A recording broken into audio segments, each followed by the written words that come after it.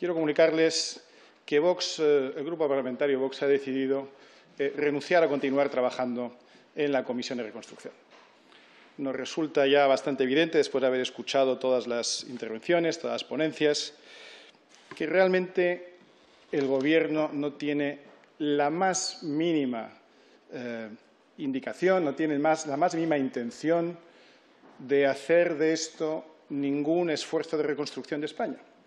Más bien lo contrario. Nos queda bastante claro que lo que el Gobierno pretende es que esto se convierta en una comisión de exculpación